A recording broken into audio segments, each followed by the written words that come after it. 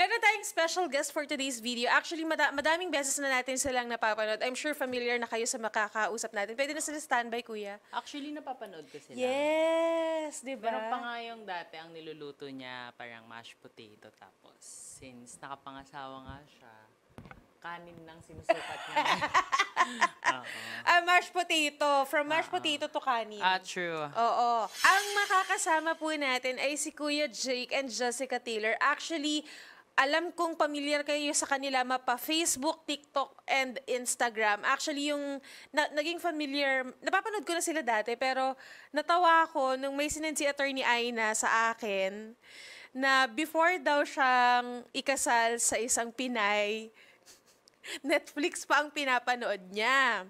Pero nung nakapangasawa na siya ng Pinay, Rafi Tulfo na ang pinapanood. True. Yun ang series niya. Yun ang Netflix niya. Di ba? Kaya tuwang-tuwa ako sa kanya. Kaya nagulat din ako kasi hindi attorney Aina. Kasi si attorney Aina tawang-tawa sa mga videos nila. Nakasubscribe sa kanila si attorney Aina. Anyway, nasa linya na natin all the way from San Antonio, Texas, USA, si Sir Jake, si Kuya Jake, and si Ate Jessica Taylor.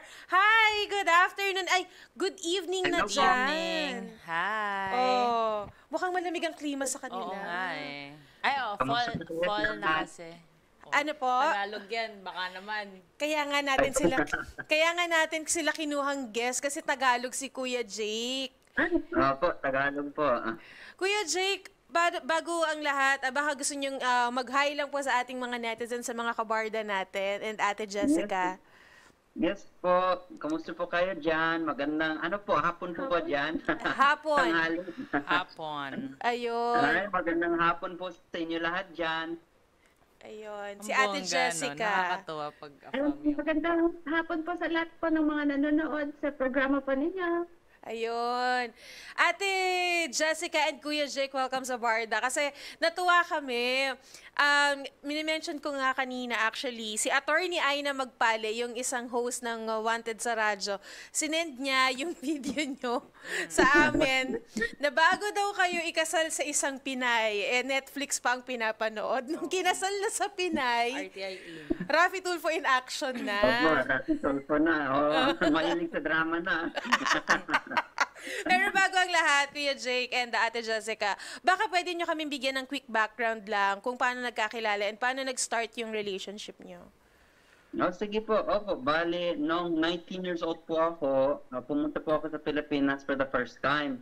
Bali, pure English speaking lang po ako noon. Pero ah, bali, two years po ako sa Pilipinas, doon ko nakilala si, si Jessica sa Pasay, Manila. Tapos bumalik ako sa US. After ilang buwan, nag-message-message lang kami sa Facebook. And then, yun, nag naging kami na. And actually, mag-11 years na po kami this December. Wow, 11 years. 11 years. Um, 11 years 11 po. years as mag-Joes or as husband and wife? Yes, as husband and wife po, 11 years. Grabe. Saan ka doon? Isang- isang malaking sana all. na.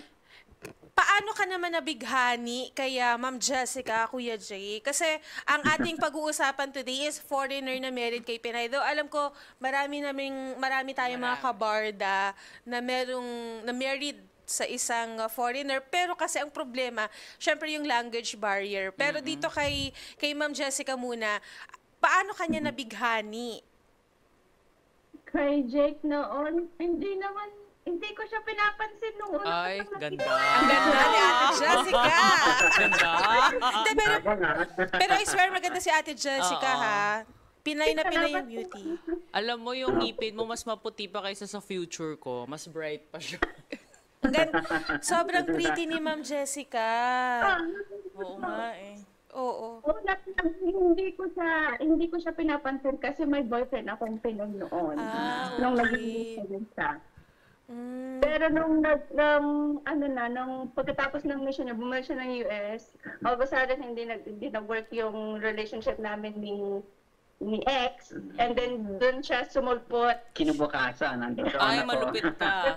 malupit ka kung ganun, kung kinabukasan nandun na. Pinag...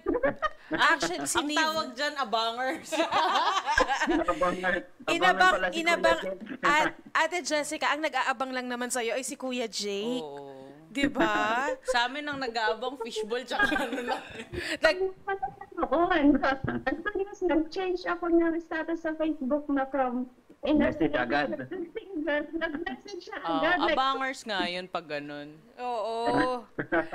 Inaabangan ka ni Kuya Oo. Jake. Pero Kuya Jake, ikaw naman, ano yung pinaka nalu- nahumaling ka? Kaya, ano yung, ano yung Anong traits? nakita mo sa kanya?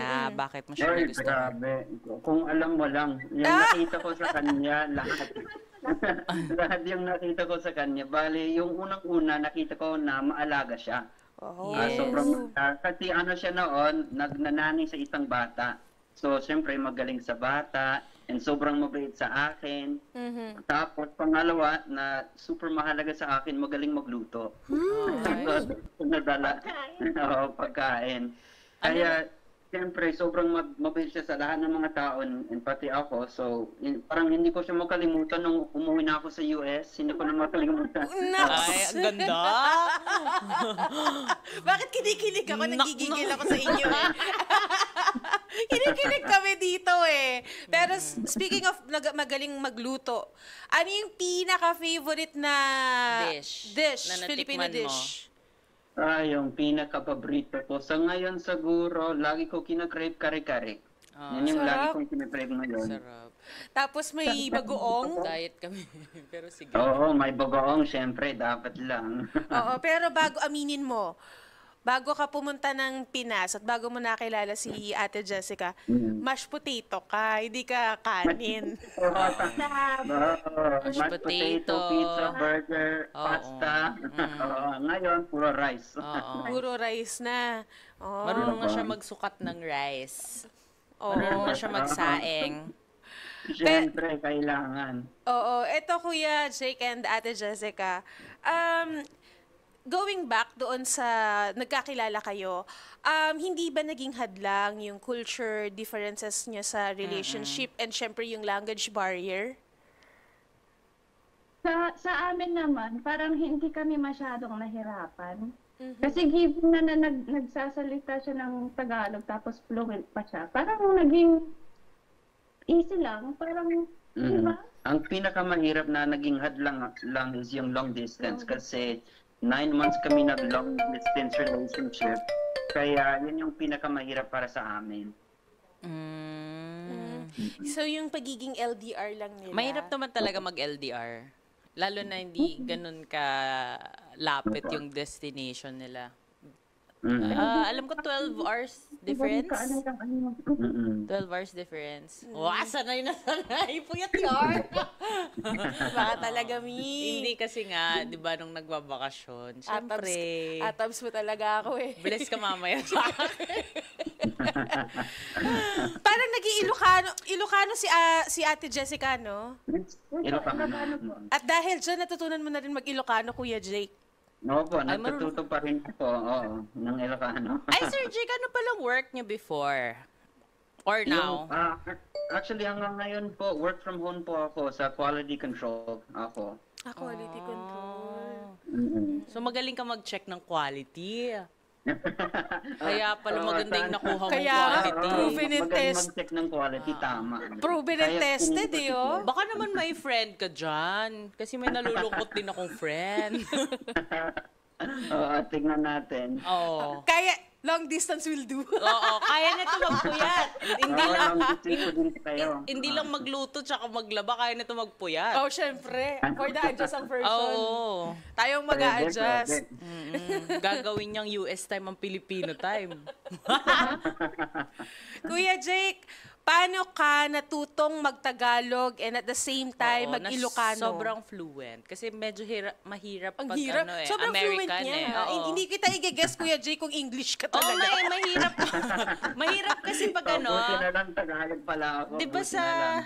US, ay sa American accent, lalo na pag born and raised Uh-huh. there, mahirap magtagalog ng fluent. Mm-mm.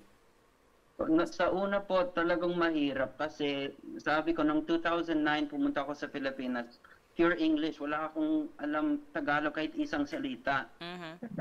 Oo. Pero, eh, you know, araw-araw nag nag-aaral ako ng Tagalog and for two years, ando doon, ando, ando dyan pala ako sa Pilipinas. Pag uwi ko, akala ko mawawala yung Tagalog ko kasi walang, wala akong kausap dito. Buti na lang, itong si Jessica, nagtatagalog lang kami. ah, hanggang ngayon, nagtatagalog lang po kami sa bahay. Through practice. Ah, Kaya pinapractice. talagang practice na practice Tagalog. And, and lately lang po yung Ilocano. Ah, kasi na-realize ko, yung, yung family niya Ilocano, syempre marunong din mag-Tagalog. Pero gusto ko din ah, ma-express yung, yung para ma-express din nila ang sarili nila sa akin sa Ilocano, sa sa native language nila. Kaya nagtututo din ako ng, ta- ng Ilocano. When, So, narinig when. mo na magalit si Miss Jessica. Iba magalit ang Ilocano. Oo, iba magalit ang Ilocano. Ilocano, Malakas ang boses niyan. Doon lalabas yung Ilocano niya pag galit. Na, pag, pag Taglish ako, in the mood. No. Pag Tagalog, medyo 50-50. Pero pag Ilocano na Oo. nang diretso, alam na niya. Oo, na ako. nagiging, nagiging rapper yan eh. Oo. Pag Ilocano. Oo, Pag nag- na pag-. Ba, pag nag-Ilocano, hindi na okay eh. hindi na magandang sign yun. Tapos binanggit na yung buong pangalan mo. Buti, Miss Jessica, hindi mo pa binabanggit yung buong pangalan ni Sir Jake. Pagka nagagalit ka.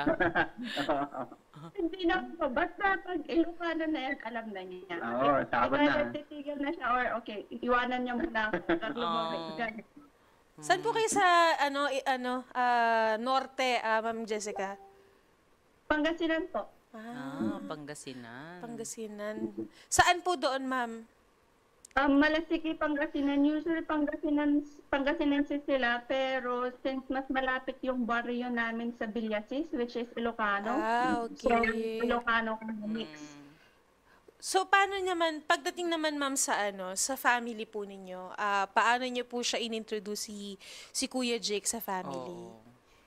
So, so nung una po, sinabi ko kila, kasi laking lolo at lolo po ako. Opo, opo. Nag, ah, sabi ko, um, uuwi ako dyan, meron akong dadalhin na boyfriend. Kayo nang bahalang um, kumilatis. Ganun pa na hindi ko sinabi na foreigner. Mhm. Pagdating namin, nakasakyan ng tricycle, nakita nila foreigner, bigla silang nagtago. Lahat sila nagtago. Eh kasi nga, mahirap nga. Alam mo naman, nakaka-culture shock agad. Oo nga eh. Walang lumabas. Tapos, as soon as pagka um, pakilala ko siya kay, kay tatay, nag, nagmano siya. And then sabi niya, hello po, kamusta po kayo? Ako pala si Jake. Mm-mm. Tapos lahat sila nagtangin, ano na? Oo, pag Ilocano talaga ganon, medyo na-weirdan sila pag afam tapos ano. Ah, Nagtagalog. ganon? Nagtatagalog. Tagalog pala siya, bigla na silang nagsalabasan. Alam mo, parang na-excite sila. na Siyempre para kilalanin safe lang. Kasi pag English speaking si Sir Jake, ano yun eh, bakbakan yun eh. Tawag doon bakbakan. Oo. Oo. Ay, Akala ceasefire tayo baka nung mahihirapan. Paano paano naman tinanggap ah, Ate Jessica? ah, like anong ano yung bonding or relationship nila? Ah, nagkaroon ba ng hadlang or ano?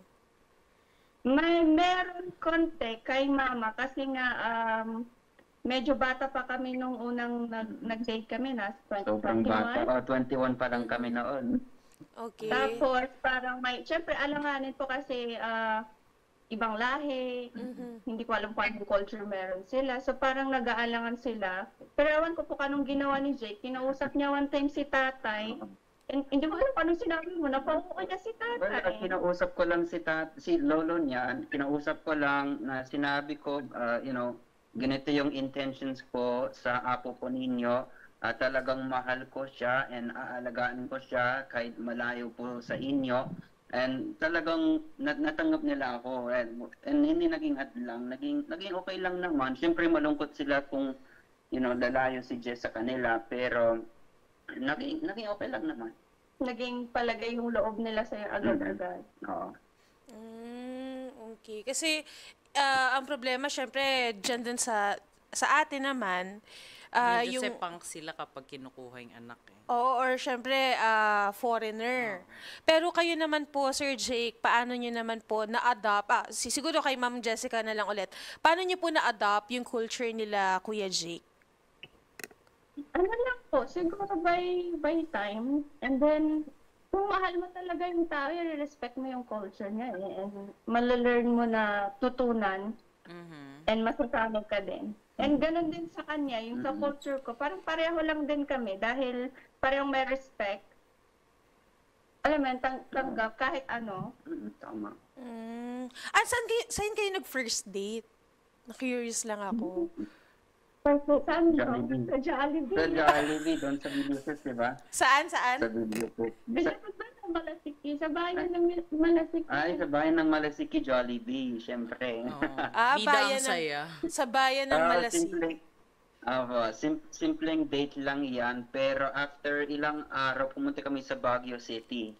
And doon kami ng ilang araw nag-explore doon sa Baguio. Kaya Masarap. yun yung talagang date spot namin sa Baguio. Bongga. Oo, kasi lahat ng dinala ko yata sa Baguio. Hindi okay. Sino man dinala may, sam- may sumpa ang Baguio eh. Sino man dinala mo? Baguio as a friend. Baguio as a friend. Baguio as a friend will do. Paano naman kayo nag-propose, Kuya Jay, kay Ate Jessica? Ay, ako, propose. yan, yun ang naging problema ko. Kasi three weeks lang ako sa Pilipinas noon bago bumalik sa trabaho dito sa US. At talagang inaantay ko yung perfect time. Hindi ko alam kung sa Baguio ba o kung kung saan saan kami pumapunta para mag-propose lang ako. Tapos, pauwi na ako. Hindi pa rin siya nag-propose. Oo. Kinakabahan na ako. Sabi ko, wow. Na nakita ata siya nga ayaw sa akin. Hindi na, hindi na siya mag-propose. Oo. Mag-propose ba to? Hindi, parang wala na akong pag-asa kasi alis na siya. Malapit na ilang days na naman ang proposal. So sabi ko, ah, okay, walang Akala niya hindi matutuloy. Pero last day ko na sa Pilipinas and ando doon kami sa bahay nila. wala Na, lang. nagbihis ako, siya nakapangbahay siya. nakapangbahay.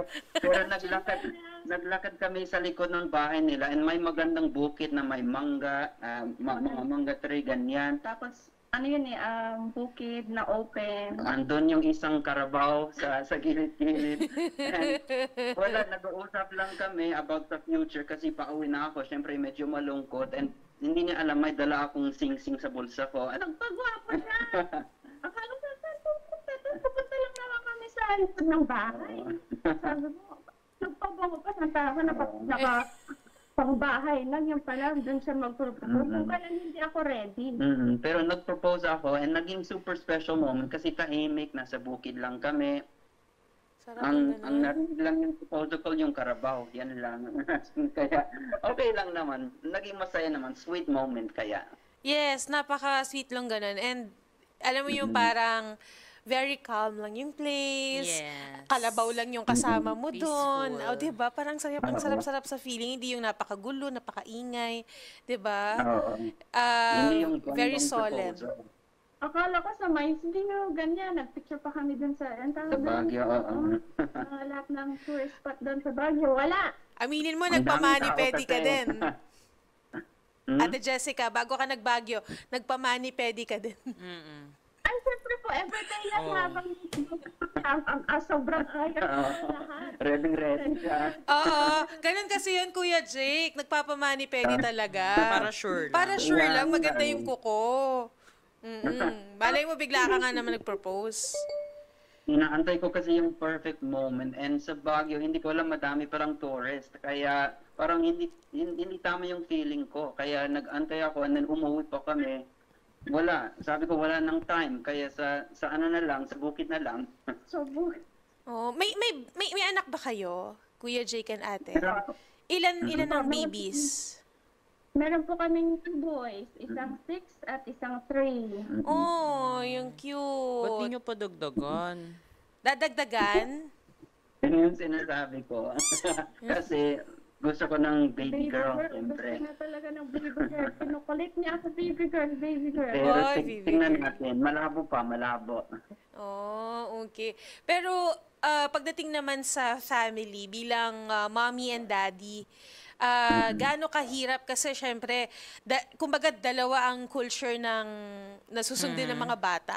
So paano niyo na-maintain yung pagdediscipline doon sa mga babies, mga bata? Ba- bali, ang, ang ginagawa po namin, kasi andito po kami sa US, kaya more on Filipino culture kami sa bahay para alam din nila yung culture ng mama nila and close sila sa sa Tagalog at sa pamilya ni Jess. And syempre, habang nandito sila sa US, nag-aaral yung panganay namin sa school.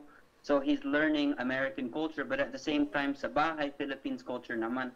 Ah, kaya yung discipline, uh, kami ng dalawa lang, parang whatever feels right, I guess, at, at the time. Pero para sa amin, um, Inaalo natin eh, binabalance po oo, natin. binabalance lang po namin. magandang um, way na culture ng American way ng parenting, tapos yung magandang parenting din ng Filipino, binabalance namin. So, hindi kami yung sobrang strict na Filipino ano culture and strict na American culture. Mm.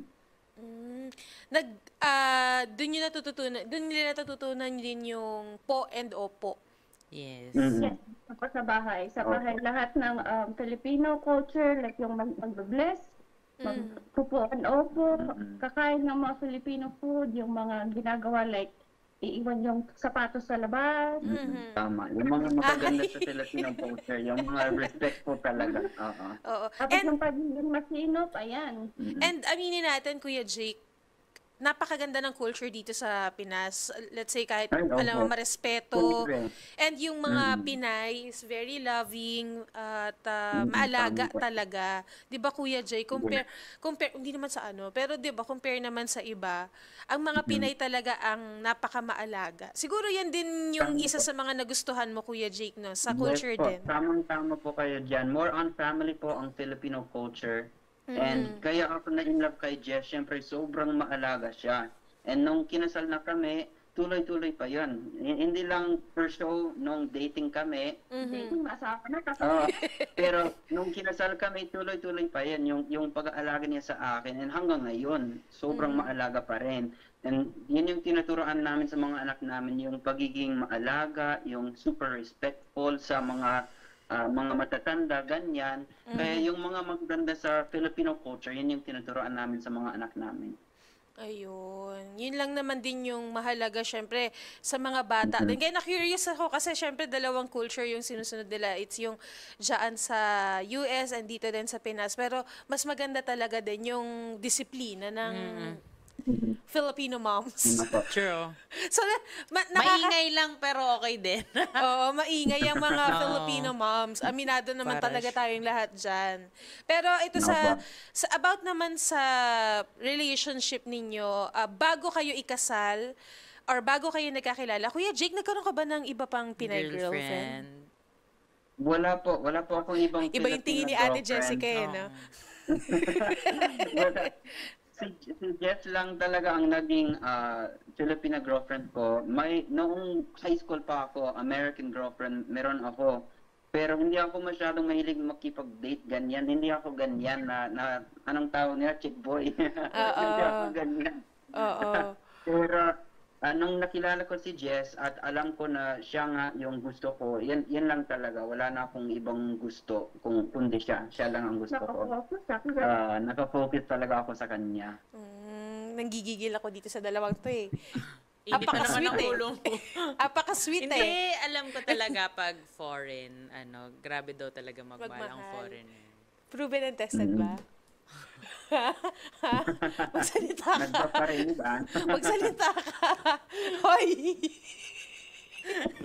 hindi naman, hindi naman naging kami. Ah. Nanligaw lang. Sorry, sorry. Mm. Pero straightforward kasi ang mga foreigner. eh. Tama ba, Ma'am Jessica? Very straightforward Isa sila. ang nagustuhan ko about Jake, hindi na siguro bilang foreigner. Eh, siguro bilang foreigner na din kasi kung gaano, alimbawa, kung ano yung binigay mo sa kanya, kung minahal, mo- mamahalin mo siya ng 100%, ang susukli sa'yo like 1,000%. Oo, ganun, ganun nga Yun- sila. Yun yung nagustuhan ko sa kanya. like, kung ano yung ibibigay mo, like, more than 10 times yung ibibigay mo sa'yo. Yun Oo, yun. naramdaman ko yan. Tama ka na, B! Lumilipad yun, di ba? Oo.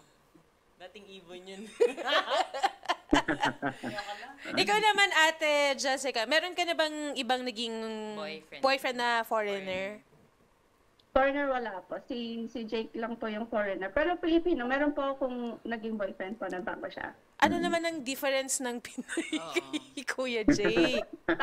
Na ka manonood yan. Hindi, pero Hayaan mo siya. yung nakita ko lang talaga na talagang talagang nagustuhan ko kay Jake. Nung una talagang wala akong balak makipag-date ng mga foreigner ganyan. Parang takot ba ako kasi iba yung culture. Pero yung kay Jake noon, kinumpare ko siya sa ex na Filipino ko. Yung kay Jake, tanggap niya ako ng buong buo. Yung walang halong, eh, palitan mo to or gusto ko niyan, dapat ganito. Yung parang minamando ka ba? Pero kay Jake, kung ano yung, ano yung nakikita niya sa akin, parang tinanggap niya lahat ng buong buo, na walang halong, ano mo yun? Hindi ka nangihiling. Basta yun yun, basta tanggap niya lahat. Eh. Yun yung nagustuhan ko sa kanya. Mahal ba niya ako na kung ano yung nakikita niya, yun na yun. Mm, controlling ba si ano? Si Kuya Jake? Na, baka. Ah, ikaw, mas ikaw. ninyo. Mas ikaw. Hindi po naman. Never siya naging controlling. Ano siya, supportive. Mm. Masasabi ko supportive, yun. Kuya Jake, pero bago tayo mag-continue, anong pinaka-favorite episode mo ng Wanted sa radyo? Ay, ay, grabe. Sabi ko nga kanina, mahilig kami sa drama, di ba? Kasi nangyari niyan, pagka matutulog na, nanonood lagi ako ng Rafi Tulfo. Mm. Talagang Rafi Tulfo, full volume pa oh, yan. full volume yan. Nasurious ako. Sabi ko, grabe, ano yan, ang ingay naman yung pinapanood mo. Pero sabi ko, parang interesting yan na. Andyan pa na ako sa likod niya, nakikinood. Magtatanong pa, ano yun, may, may part 2 ba yan? May part 2 dyan?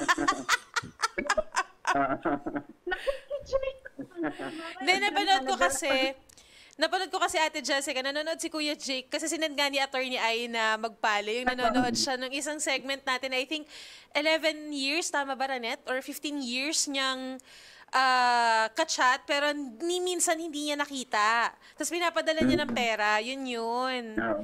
Oo, Kaya kaya- nga, oo. Oo, kaya lang kasi ang problema dun sa, ayan oh, Grabe naman to. Ay, be, akala ko nanonood ka. Nanonood na. Nakitol ko. Nanonood, nanonood siya niya, no? nasa part 2 na nga siya. Ang problema kasi dyan, wala, parang ayaw niya rin magpa, mag-seek ng ah, professional help. Talagang pinapaniwala niya yung sarili niya na um, yung kausap niya, yun yung nakikita natin sa Avon before, si Ma'am Bea. Mm-mm. Mm-mm, ayun. And siguro, ah, naintindihan ko din si Ate Jessica and si Kuya Jake. Talaga interesting din yung ilang mga kabit serye doon. Mm-mm. Siya, Oo, talagang ano, lalo na yung mga, parang naka, hindi nakaka-relate, pero yung may foreigner na Filipino yung asa, yung girlfriend or asawa niya, and yung yung Filipino nasa Pilipinas, yung foreigner nasa kabilang bansa, and hin- hindi alam ng foreigner pala na puro pera pala yung babae. Kaya yun yung parang super interesting sa akin na, wow, buti na lang hindi ganyan si Jess. Sabi ko. Eh, ito, speaking of ganyan, gumabot ba kayo sa merong, ku- kumbaga nakaabot ba kayo sa, may nagdi-discriminate sa inyo, especially sa iyo, Ate Jessica? Kasi may mga ganyan eh, hindi naman talaga Madami. mawawala. madami, hindi yan mawawala. Basta pag nalaman na nilang foreigner, tapos makikita nila, oh wow, hindi sila bagay, or ay mukhang mukhang tsaka yung yung asawa. Ay, gima- nakaabot ka din ng ganun, ate. Mas Taw- Madami. tawag Pero- ng mga aswang. eh. Charot. Ang, Grabe. ang nakaka, nakakaano lang, nakakalungkot lang minsan is more on yan sa Pilipinas. Pero dito as in wala. Mm. Me- Medyo normal na dito kasi madaming interracial relationship dito sa Yeah. amin. Uh, more, I guess, unique doon uh, dyan sa Pilipinas. Uh, pero, syempre, online kami, content creators. Syempre, yung mga nagko-comment, sabi nila na kung ano-ano about kay Jessica. Pero, ini-ignore namin yung mga haters kasi, oo, kasi sobrang daming supporters. Yan yung pinapansin namin, yung mga nagsusupport sa amin. O kasi ah, marami na rin kaming naka, na-encounter na ganyan, na nakaabot, umaabot talaga na sinasabihan sila ng kung ano-ano. Meron, merong isang beses sa Wanted sa radyo, parang nireklamo niya yung sarili niyang pamilya. Kasi ah, halos pag dumadaan daw yung lalaki at si babae at yung mga kapitbahay daw pinagchichismisan siya, ang pangit daw niya, mukha daw unggoy, ganun. Sinasabihan niya and Hindi sila bagay. Tapos sasabihin na, yes. uy, green card lang yung hapon oh, niya. mukhang, mukhang katulong ang asawa mo, sinasabi nila. Sabi ko, Pera lang ang hapon, yung mga ganyan. Ha, paano niyo nadidil yan, Ate Jessica? How do you deal with bashers? Wala lang. Um, i-open ko kay Jake. Tapos yun, pag-usapan namin, ito, doon sa magaling, yung mag-lift up. Sasabihin niya na, it's okay. Ya- kung yan yung, kung yan yung, ano, yung paningin nila, hayaan mo lang, opinion nila yan. Alam mo sa sarili mo na hindi yung totoo. So, bakit mo papapatulan? Oh, kung gusto nila maging mega, nasa kanila yan. Kasi kami, more on positive content yung ginagawa namin and syempre, super masaya kami sa relationship namin. So, hindi namin masyadong pinapansin, pero minsan binabasa ni Jess yung mga comment na yan. Siyempre, Michelle, masakit Oo, syempre, hindi mo maiwasan na, na masaktan. Pero ang sinasabi ko sa kanya na, you know, hindi yan totoo. Syempre, Pero, ito bakit ka affected? Yung parang, Oo. parang ganun siya lang. mm tama. Oo, kasi ah, yan din yung laging sinasabi ni Sir Rafi. Um, yung mga Pinay natin na natutulfo, na nag end sa wanted sa radyo, na nirereklamo ng mga foreigner, um, wag itigil nyo na po yan kasi naapektuhan din po yung mga ibang matitino na babae. Parang syempre, ang dating din sa, kaya tinutulungan ni Sir Rafi yung ibang foreigner kasi nakakahiya sa ibang lahi na may record tayo, may bahid tayo ng ganun sa ibang bansa. 'Di ba? So, kaya si Sir Rafi tinutulungan na hindi lahat ng babae ganyan. So, tutulungan namin kayo na makuha kung may mga dapat pang makuha. Kasi nakakahiya eh. Parang, syempre, na, ka- lalo na sa mga kababaihan din na nasa ibang bansa, para ang tingin sa'yo is, ay, Pinay yan, Parang ganito, kung- ganyan. kung Tinuturaw nila, like, yun, parang pare-pareho na yung tingin, ganyan. Kahit I- na hindi naman nila alam kung ano yung, yung, yung background yung dalawa. Parang Yes. tingin nila isa ganon. Oo. Kasi sa foreign, kahapon nga, nagkwento ako sa wanted, ay sa ano, sa Barda. Kasi nga, meron ngang foreigner na minsan akong, sabi niya lang, I like your background, kaya lang hindi ko nalandi. Nanggigigil ako sa self ko. Sana pala nilandi ko na. 'Di ba? Tanga-tanga ka kasi. Dapat, edi sana may afam din tayo. O di sana nag english tayo ngayon. Kaya nga, edi sana blue eyes yung mga ano, inaanak mo. Eh, di sana, di sana wala ka dito. Ay, syempre. Wala. Ano po, ma'am? Wag, dyan ka lang po. Wala na kami papanoorin kung umalis. Ay, di, dito pa rin naman siya. Mapupuyat lang siya, pero dito pa rin niya. Oo. hindi tayo pwedeng mawala ng wanted tsaka barda. Two days nga lang hindi pwede. Oo. Two days nga, hindi pwede eh. Two days leave nga lang hindi pwede. Oo. Pero ito, ate, ate Jessica and Kuya Jake, as vloggers naman, since na-mention na natin yung uh, content ninyo, paano nag-start or paano nyo nabuo na, uy, pwede pala tayong mag-vlog Mag-content. or mag-content. Kasi pinatok talaga ng netizens eh. Well, sa una, yung iniisip kasi namin noon, uh, syempre pandemic, medyo nag, naboboard siguro kami. Pero sinabi namin, alam namin medyo unique itong relationship namin kasi nagtatagalog ako and uh, you know, tumira ako sa Pilipinas noon. Medyo alam ko na yung culture ng mga Filipino. Kaya alam namin unique. Kaya yung first TikTok namin, bali TikTok kami nag-start. And mga ano lang, before and after videos or one day dating a Filipina hanggang naging one year dating a Filipina, kung anong transition, ganyan. And naging viral hit yung isang video na yan. Kaya tuloy-tuloy na yan. And hindi namin alam na madami pala na magsusupport sa amin hanggang ngayon. Madami. Sobrang madami na. Madaming nakaka-relate. Usually, mga videos lang naman po namin is yung anong ginagawa namin sa bahay. Mm-mm. Kung ano nakikita yung translation ni Jake sa mga videos niya, totoo yan, ginagawa niya dito sa bahay. So sabi ko, bakit hindi mo gawing video? Nakakatawa lang kasi tignan mo yung transformation mo. Mm-mm. Tapos yun, boom, ang dami pa lang may gusto and tawang-tawa sila sa kanya. Sila, okay, sige, continue pa natin. Mm. Kasi pinatok ng netizens eh, ay, well, marami rin kasing mga uh, Pinay na nakapangasawa ng foreigner. Kaya siguro na-relate sila. Kaya alam yung ibang foreigner, hindi talaga marunong magtagalog. Ang alam lang nilang Tagalog, opo and po. Tsaka mura. Mm. O, saka mura. Actu- yung Oo. mura, lagi yung mura. Oo. Nang nagpunta ako ng Siargao, may video nga ako. nun. May nakilala kaming mag-asawa na foreigner. Tapos nakasama namin uminom yung mag-asawa na yon. Siyempre, tinuro ako magmura. Malupit ka, Mars. Sabi ko, syempre para aware ka, baka mamaya may magsabi sa'yo niyan, para aware ka. Oh, di ba? Nag-thank you at naging friends naman kami ng foreigner na yun sa Siargao. Ano yung pinaka ah, gustong-gusto mong lugar dito sa Pinas, kuya? Maliban sa Pampanga. Ang ang paborito po namin, uh, ev- al- almost every year pumupunta kami sa 100 Islands doon sa sa Pangasinan, po. Pangasinan. Mm. Bali, ah, nag nag ah, snorkeling kami sa 100 Islands, nagsa-swimming, nag-island hopping kami. Kaya yan yung talagang favorite vacation namin within our Philippines vacation. Yun yung ginagawa namin lagi is doon sa sa 100 Islands, Alaminos, Pangasinan. Oh, mag-try din kayong mag-ano, magda, ah, mag-snorkeling sa Coron. True. Yan, Coron, oo. namin yan. Sa Coron kasi sobrang daming, yun talaga sobrang dami talagang ma-dive talaga doon. Meron pa sabi yung, oo, yung sa ship na, I think World War something pa na nandun, nakalubog, pwede nyo, pwede nyo siyang silipin doon. So, ma- must visit yon Kuya Jake, ang Coron. Coron or El Nido. Opo. Nakapunta na ako sa El Nido noon pa, nung missionary pa ako. Ah, pero saglit lang ako doon sa El Nido.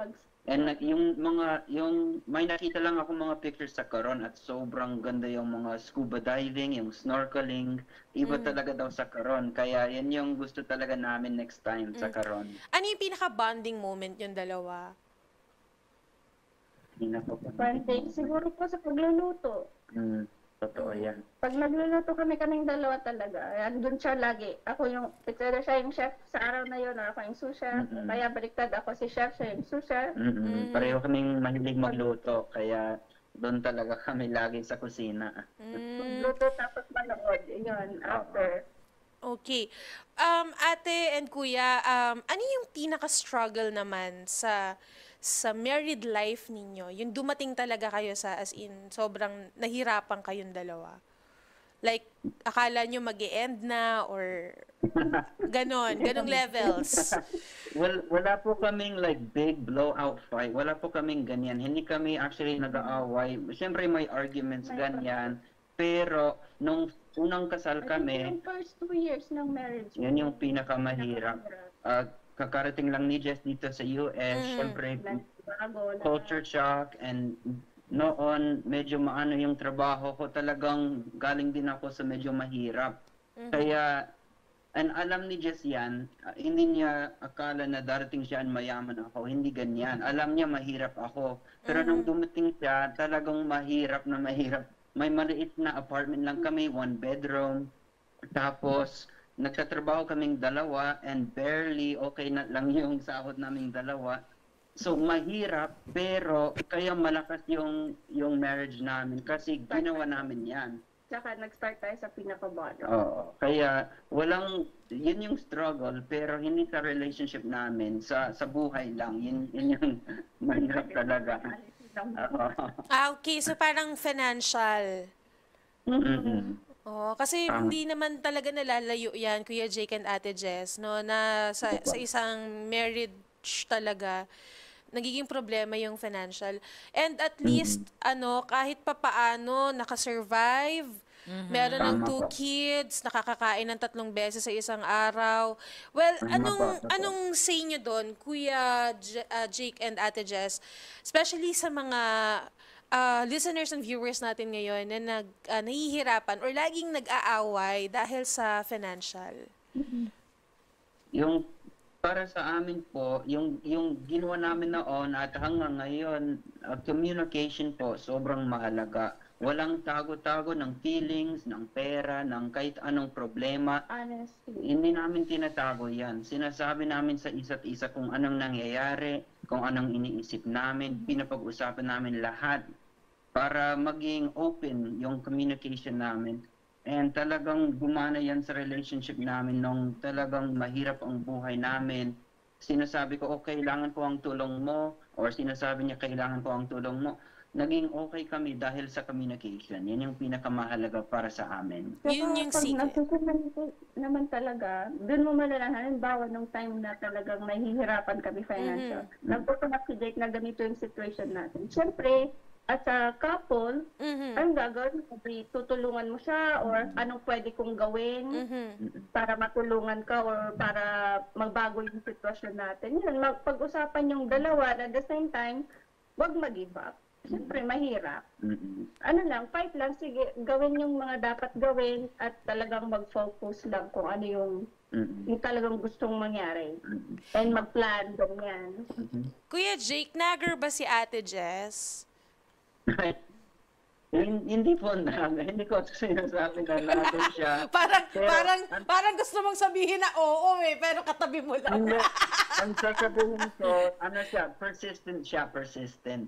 Ah, pag may gusto, gusto talaga. Kaya, alam ko yung ugali niya, alam niya din yung ugali ko. Kaya, pag persistent siya, yun, yung gusto niya, magiging sa kanya na Persistent, hindi mo pwedeng, ano, motivator. Mas motivate. maganda na motivator na lang si Ate Jess. Mm-mm, kasi, Mag, mag-motivate, yan lang. Ah. oo, problema yan, di ba Kuya Jake and Ate Jess? Problema yan ng ilang mga ah, kasal na dito. No, or kahit partner lang, mal, ma- medyo mali din na nasasobrahan ng pagkanager si Mrs. Totoo Mali po na yan. mali. Mali. Pa- para sa amin yung pagiging nagger, wala eh. Um, dapat, ang tawag nito? Nauna ito. Okay, yung yung sinasabi niya is al- alam alam niya alam ko yung gusto niya kaya ginagawa ko before magnanag siya. yan yung yan yung totoo. Unahan mo na. ganun. Oo, inaunahan ko na kasi alam ko yung gusto na. niya. Tawag Kaya pag ginawa ko na, yun, hinahayaan niya niya ako at wala nang problema. At dahil 11 years na kami, you know, kilala talaga. Sila lang. Oo, kilalang kilala na. Kaya ginagawa ko na or ginagawa din niya para hindi na kailangan Hindi na mag-ask. mag, hindi na Ah. mag, mag, ano, ang tagang magliyab yung ah, away. Mm-mm, tama. Minsan na ba na nagkalamat yung trust nyo sa isa't isa?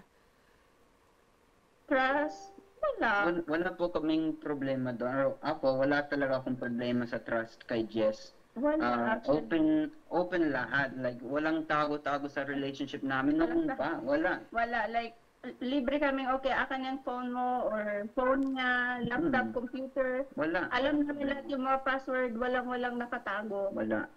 Yun yung isang ah, strength ng marriage namin sa palagay ko. Kasi yung mga iba, Walang, walang, Oo. uh, walang walang ganyan. Kaya walang problema sa trust ah, para sa akin. And siguro para kay Jess Ah, pero ikaw Ate Jess, kasi syempre may itsura ang Kuya Jake. True. Minsan ba na may pinagselosan kang babae and how do you deal with dun sa girl na yon and kay Kuya Jake?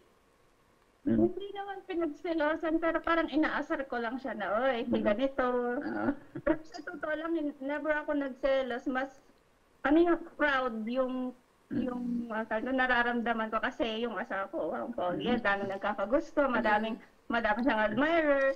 Hindi selos yung nararamdaman ko, yun, hence, mahal ko siya and may tiwala ako. Yun Walang yung, ganun na Oo, yun yung word, yun yung pasok sa banga na word, may tiwala. True. 'Di ba? Mhm. Oo, kasi ang, ang problema din, may mga ilan din na may itsura yung asawa ko. Naku, mag-worry ako kasi yung yung mister ko may record na ng ganto ng panloloko. 'Di ba? Walang tiwala. Yun, doon nag start minsan yung away-away. Kung wala kang tiwala, yun na lang, oh my God. Haba ng hair ko, ha? Ayan pala sila. Ayan. Ilan ilang ah, subscribers na kayo sa YouTube? Ah, bali, three- 312,000 na ata sa YouTube, 312. Ayun. Ang, ang gaganda ng mga content nila din. Kasi napapanood ko yung mga reels nila, yung TikTok. Oo, very patok eh. Actually, may gusto pa nga ako na i-guest ah, na same din yun sa kanila. Kaya lang kasi hindi nagtatagalog si Mister. I know. Parang I cannot. Allergic. Parang I cannot. No. Bago matapos yung episode, Kuya Jake, and- ah, Kuya Jake and Ate Jess, wala na, dugo, dugo na talaga kami dito. Hindi talaga carry. Oo, kasi May ang medic na ka-standby, no? high blood na Para ako. sure lang. Yung iba naming nagiging guest dito, ah sobrang love na love nila yung isa't isa. Actually, kahapon, ah, nung isang araw, may nai-guest kami na um, gay, gay couple. And then yung, oo, lalaki, si Pinoy, na in love siya sa foreigner na lalaki din. Seaman siya, oo. And sobrang mahal na mahal nila yung isa't isa. Nakakatuwa. Till death do us part talaga. Saan kayo kinasal? Dito na po sa Arizona. Opo, sa Arizona, USA po kami kinasal. Mm. Eh di kuya, kung sa Texas, ah, hindi pala. Ngayon nasa Texas po kayo, no? Opo. Bali, lumi- ah, after one month, lumipat na po kami sa Texas. Kaya naging mahirap ang buhay namin. Kasi bagong trabaho, bagong lugar. Ah, Nag-start pa lang tayo. Normal, normal naman yun sa mag-asawa. Especially pareho tayong bata. mm tama. And wala pa tayong mga career noon. Mm, at least talagang from ano, from Scratch. Scratch talaga. Magkasama na talaga sila, no? At nandyan sa'yo, nasa tabi mo si Ate Jess. Kahit walang-wala, no, Kuya Jake? Oo, yun yung sinasabi natin na hindi lahat ng Pinay pera lang ang habol. Yes. Diba? Hindi lahat. Madami din na, siyempre, nakakatuwa lang na malaman, siyempre, sa Pil- Pinay din, na may mga asawang foreigner. Nak- natutuwa ako na, okay, maganda yung buhay ng mga napangasawa nila. Mm-mm. Masaya ako for them. Pero madami din talagang Pinay na nag-start sila na couple from the very bottom, tapos pareho silang nag-work up all the way up. Mm-mm. Mhm. Kuya Jake, ah, wala naman naging problema sa family mo ah, nung in-introduce mo si Ate Jess? Wa- Wala po naman. Medyo nagwo-worry ang mama ko noon kasi syempre natural lang naman uh, you know, pag pag malayo and and you know, hin- hindi niya kilala bago Bago, yung first sa family na, Yeah. ano, na, tawag nito. nag, na nag-LDR, ganyan, Ibang ibang ibang bansa, lahi. oo, ibang lahi. Kaya hin- hindi naman sa naging problema. Sabi lang ni mama ko, mag-ingat ka lang. Like, parang warning lang. Like, si- siguraduhin mo na totoo yung sinasabi niya. Ganyan. Sabi ko, ma, kilala ko na siya at may tiwala ako sa kanya.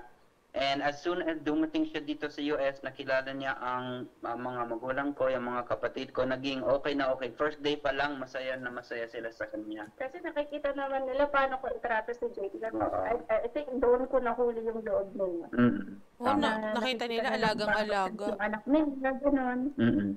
Mm. Yung family mo- ah, yung family mo kuya nasa Arizona pa rin.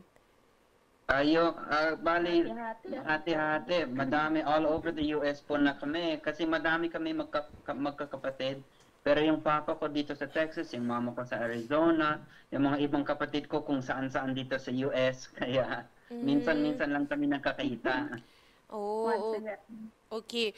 Ano yung ano, ah, paano niyo po na-maintain, ah, Kuya Jake and Ate Jess, yung ah, healthy na relationship niyo maliban sa communication, sa trust?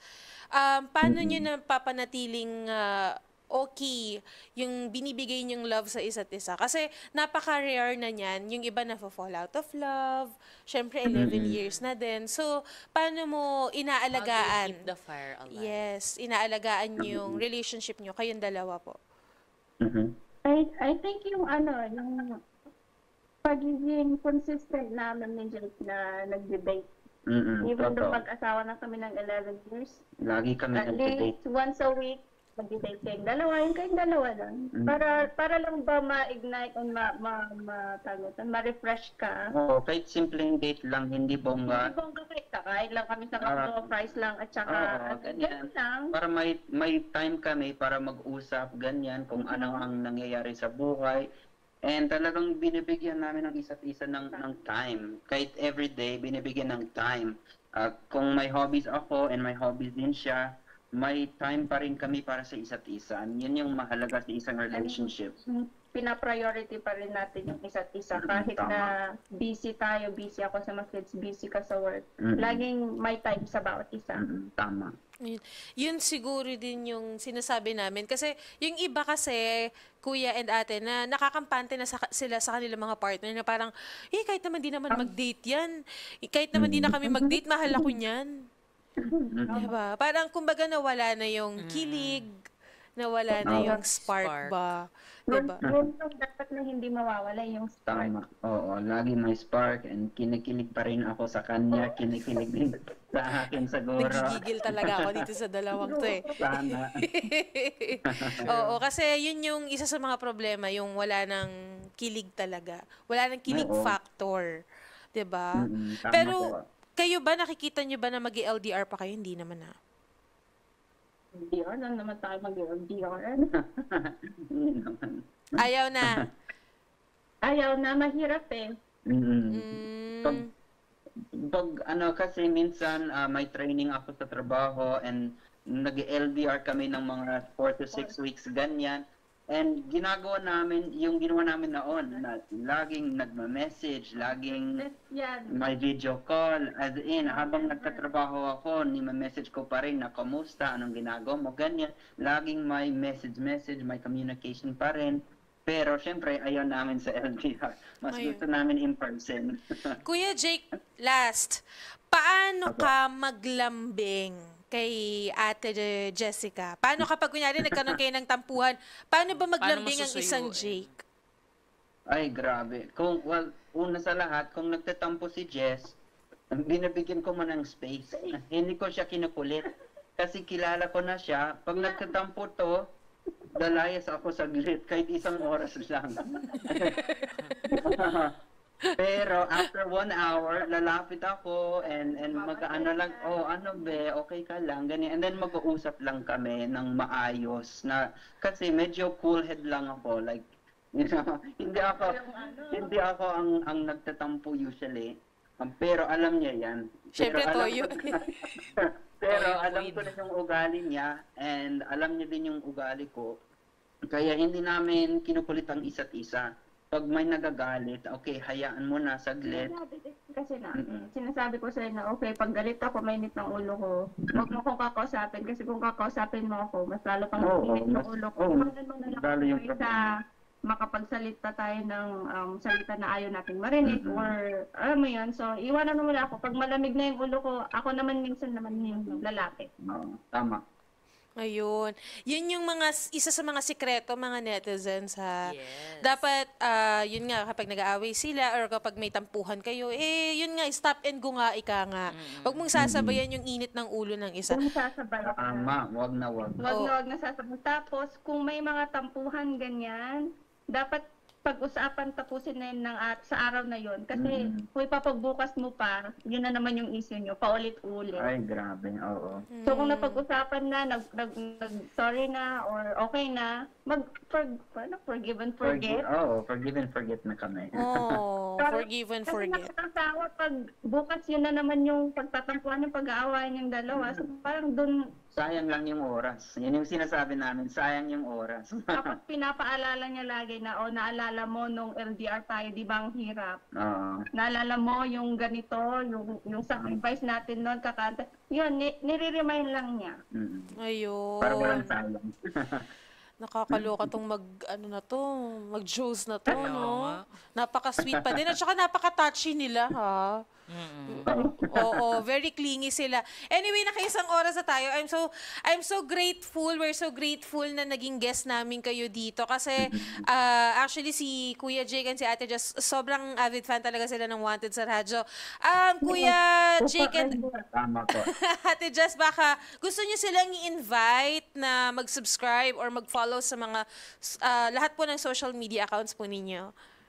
Yes po, balik, uh, uno po sa lahat, nagpapasalamat po talaga kami sa lahat ng mga supporters namin. Nung bago pa lang kami hanggang ngayon, pero may channel kami sa YouTube, Facebook, Instagram, and TikTok. Puro Kuya Jake lang po ang, ang name po namin sa mga social media.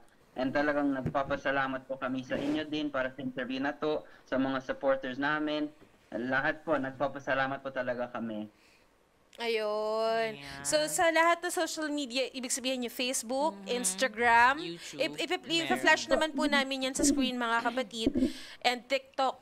Ayan. So, Yes. mag-subscribe din kayo syempre sa YouTube, ha, para lagi kayong updated din sa mga videos ni Kuya Jake and ni Ate Jessica, especially kung kayo ay nakaka-relate din sa sa buhay nila. Yes. Diba? O last na, Oo. anong message ni Sir Jake para kay Ma'am Jessica? Yun. Siyempre, ang gusto ko lang sabihin sa kanya na talagang nagpapasalamat ako na pinakita niya sa akin yung yung kabutihan ng, ng isang tao na talagang nag-aalaga sa akin noon pa like ever since 11 years na kami parang first day pa lang ng dating like sobrang sweet siya sa akin talagang nagpapasalamat ako sa kanya dahil sobrang mabuting mother siya sa mga anak namin And talagang the, the best wife talaga siya sa akin. thankful lang ako. Super thankful. Ayun. Thank you very much, Kuya Jake and Ate Jess. Ikaw naman, Ate Jess. Ano namang message mo kay Sir Jake? Ay, suso, nag-isip pa. Lagi kong sinasabi sa kanya na kahit anong gusto niyang gawin or gusto niyang marating, andito lang ako sumusuporta sa kanya. And syempre, thankful sa pagiging um, lahat na ng qualities na asawa na hinahanap ko nasa kanya, ma- mas pa. Lahat ng mga hindi ko pinipray nasa kanya na lahat. And thank you sa pagiging um, mabuting ama and mabuting provider sa family natin. Yan ka. Ayun. May gusto po kayong i-greet, Ate and Kuya? Um, pa, pa, great po, Sister Rafi Tulfo po. Idol, idol. Ayun. Si Idol Rafi, nanonood yan. Ah, Idol, ito pong si Kuya Jake and si Ate Jess. Sobrang avid fan talaga ng Wanted sa radyo. Ayan. Mga laging nanonood ng Wanted sa radyo. Updated sa mga videos ng Rafi Tulfo in action. Thank you very much, Kuya Thank Jake and you. Ate Jess. And we hope to see you soon. po. Yes. Miss Sherry and Miss Marcel. Yes. Oo, maraming salamat po. Sana maging guest namin kayo dito live, Hope to guest. meet you soon. Yes po. Oo, para ma-meet nyo din si Idol Oo, Rafi. pag umuwi kayo, I-promise please yan. visit us. Oo, promise yan. Ipapakilala namin kayo kay Idol Rafi. Thank you, Kuya Jake and Ate Jess. Thank God you. bless. Yes po. Maraming salamat po. Ayun, maraming salamat. Si Kuya Jake and uh, Ma'am Jessica Taylor ng San Antonio, Texas, USA. And muli po, maraming maraming salamat. At uh, yan po, mga kapatid, ay uh, nagsas